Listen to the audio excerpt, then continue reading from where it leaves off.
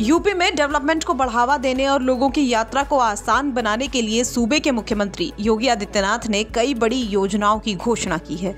इनमें शहरों, गाँवों और इंडस्ट्रियल एरियाज़ के लिए नई सड़कों, पुलों और कनेक्टिंग रोड्स का निर्माण शामिल है। मुख्यमंत्री ने कहा है कि राज्य में जो नए इंडस्ट्रियल बेल्ट लॉजिस्टिक्स पार्क और बड़े कामकाजी क्षेत्र बन रहे हैं, उन्हें चार लेन रोड से जोड़ा जाएगा। इससे इंडस्ट्रियल एरियाज़ तक लोगों की पहुँच आसान होगी और माल ढुलाई भी तेज और सुरक्षित तरीके से हो सकेगी। फ़िलहाल जो सड़कें दो लेन या उससे कम चौड़ी हैं, उन्हें भी चौड़ा करके कम से कम दो लेन का बनाया जाएगा ताकि ट्रांसपोर्टेशन आसानी से हो सके। मुख्यमंत्री ने सभी विधानसभा क्षेत्रों के इम्पोर्टेंट रोड्स को चौड़ाई कम से कम सात मीटर यानी दो लेन करने के निर्देश दे दिए हैं। साथ ही दूसरे डिस्ट्रिक्ट रोड्स को भी डेढ़ लेन यानी करीब साढ़े पाँच मीटर चौड़ा बनाया जाएगा। इसके लिए लोकल पब्लिक रिप्रेजेंटेटिव से सुझाव लेकर काम को प्राथमिकता के आधार पर शुरू किया जाएगा।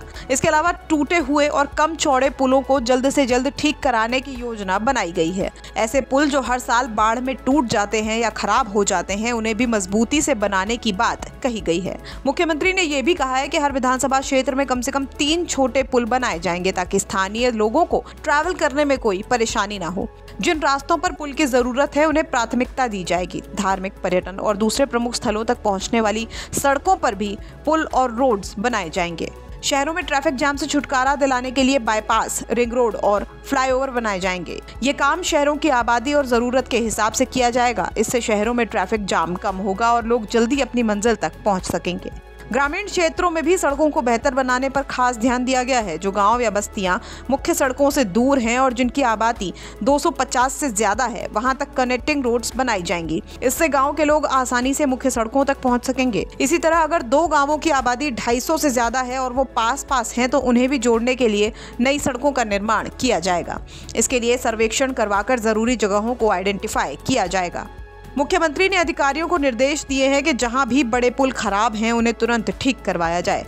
इसके साथ ही ज़रूरत वाले इलाकों में नए पुल बनाने के प्रस्ताव तैयार किए जाएँगे और उन पर तेज़ी से काम शुरू किया जाएगा।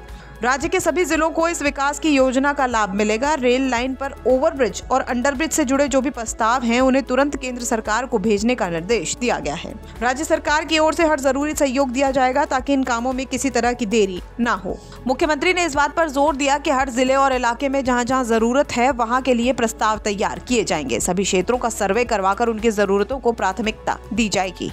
ब्यूरो रिपोर्ट, यूपी तक।